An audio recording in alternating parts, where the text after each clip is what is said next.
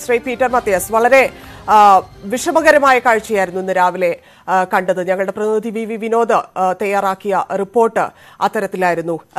രണ്ട് മാസത്തിനിടെ ഇരുന്നൂറിലധികം ബോട്ടുകൾ പൊളിച്ചു എന്നാണ് അറിയുന്നത്. എങ്ങോട്ടാണ് തീരമേഖല പോകുന്നത്? എന്തവസ്ഥയിലാണ് കാര്യങ്ങൾ?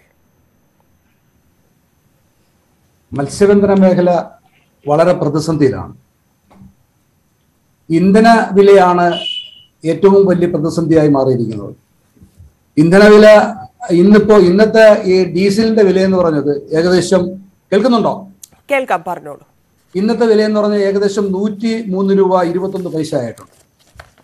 അപ്പോ ഇത്തരത്തിൽ ഇത്രയും വർദ്ധിച്ച ഡീസൽ വിലയ്ക്ക് അനുസരിച്ചിട്ട് ഈ പിന്നെ യന്ത്രവൽ മത്സ്യബന്ധന യാനങ്ങൾ ഡീസലായാലും മണ്ണെണ്ണയായാലും പെട്രോൾ ആയാലും വാങ്ങി ഒരിക്കലും ലാഭകരമായി ഈ മത്സ്യബന്ധനം നടത്തിക്കൊണ്ടുപോകാൻ കഴിയില്ല. കഴിഞ്ഞ മാർച്ച് മാസത്തിൽ കഴിഞ്ഞ മാർച്ച് മാസത്തിൽ കണക്കെടുക്കുകയാണെങ്കിൽ ഏകദേശം എൺപത്തി ആറ് രൂപ ആയിരുന്നു ഈ ഡീസലിന്റെ ഒരു ലിറ്റർ ഡീസലിന്റെ വില. അത് ഇന്ന് ഈ ഒരു വർഷം കഴിഞ്ഞപ്പോൾ പതിനേഴ് രൂപ ആയിട്ട് വർദ്ധിച്ചിരിക്കുകയാണ്. ഒരു ഒരു ഒരു ഒരു ലിറ്റർ ഡീസലിന് പതിനേഴ് രൂപയാണ് ഒരു വർഷം കൊണ്ട് വീണ്ടും വർധന വന്നിരിക്കുന്നത്.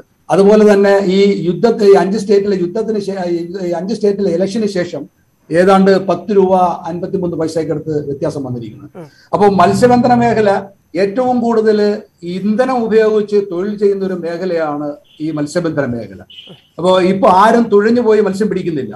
അപ്പൊ ഇത്തരത്തിൽ മത്സ്യബന്ധനത്തിന് വേണ്ടിയിട്ട് ഏറ്റവും കൂടുതൽ ഇന്ധനം ഉപയോഗിച്ചുകൊണ്ട് തൊഴിലെടുക്കുന്ന ഈ മേഖലയ്ക്കാണ് ഈ ഈ ഡീസലിന്റെ ആയാലും മണ്ണെണ്ണയായാലും പെട്രോളിന്റെ ആയാലും വിലവർത്തനം ഏറ്റവും കൂടുതൽ ദോഷകരമായി ബാധിച്ചത്.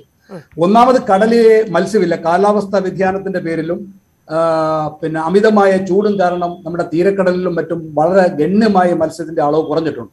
മത്സ്യബന്ധന മേഖല പൊതുവെ ഒരു വലിയ പ്രതിസന്ധിയെ നേരിട്ടുകൊണ്ട് നിൽക്കുകയാണ്.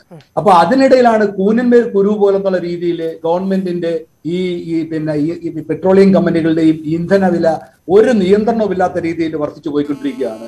മത്സ്യബന്ധന മേഖലയ്ക്ക് പിടിച്ചു നിൽക്കാൻ പറ്റാത്ത അവസ്ഥയായി. അപ്പോ ഇത് ഈ യാനങ്ങൾ ഉണ്ടാക്കുന്നവരെല്ലാം ആ ആരുടെയും കയ്യിലെ പിന്നെ പിന്നെ സമ്പത്ത് വെച്ചിട്ടല്ല. ഇത് ബാങ്കിൽ നിന്ന് ലോൺ എടുത്തും അയൽ അയൽപ്പക്കത്തു നിന്നും ലോൺ വാങ്ങിയും ഫിനാൻസ് കമ്പനികളിൽ നിന്ന് വാങ്ങിയും പണ്ടം പണയം വെച്ചുമൊക്കെയാണ് ഇത് ലോൺ വാങ്ങിയിരിക്കുന്നത്. ഈ സമീപ സമയത്തുള്ള ഈ ഇന്ധന വില വർധന കാരണം ഒരു രൂപ പോലും മത്സ്യബന്ധന മേഖലയ്ക്ക് തിരിച്ചടവ് കൊടുക്കാൻ കഴിയുന്നില്ല. ആകെ പ്രതിസന്ധി വാങ്ങിയ സ്ഥലത്ത് തിരിച്ചു കൊടുക്കാൻ കഴിയുന്നില്ല. കടം വാങ്ങിയവർക്ക് തിരികെ പിന്നെ കൊടുക്കാൻ പറ്റുന്നില്ല. ചോദിച്ചാൽ കടകളിൽ പോലും സ്പെയർ പാർട്സുകളായാലും റോപ്പുകളായാലും മറ്റു സാധനങ്ങൾക്ക് എല്ലാം അമിതമായി വില വർദ്ധിച്ചു. അത് കാരണം വെച്ച് ഈ മത്സ്യബന്ധൻ മത്സ്യവും കിട്ടാതെ കൂടെ ആയപ്പോൾ വൻപിച്ച ഇതും നടത്തി മുന്നോട്ട് കൊണ്ടുപോകാൻ പറ്റാത്ത അവസ്ഥയായി. കടലിൽ പോയി മത്സ്യം പിടിച്ചുകൊണ്ടുവന്ന് വിറ്റാൽ കിട്ടുന്നതിന്റെ ഏകദേശം എൺപത് മുതൽ എൺപത്തഞ്ച് ശതമാനം വരെ ഇന്ധനത്തിന് വേണ്ടി കൊടുക്കേണ്ടിയിരിക്കുകയാണ്.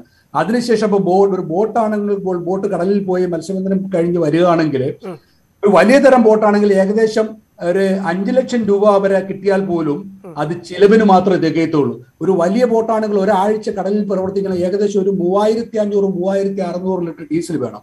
ഇന്നത്തെ വില- വെച്ചാണെങ്കിൽ ഏകദേശം മൂന്നേ മുക്കാൽ ലക്ഷം നാല് ലക്ഷം രൂപയ്ക്കെടുത്ത് ഈ ഒരു ഒരാഴ്ചയിലെ പ്രവർത്തനങ്ങൾക്ക് വേണ്ടിയിട്ട് ഇത് വേണം. ചെറിയ ബോട്ടുകൾ തിരിച്ചു വരാം.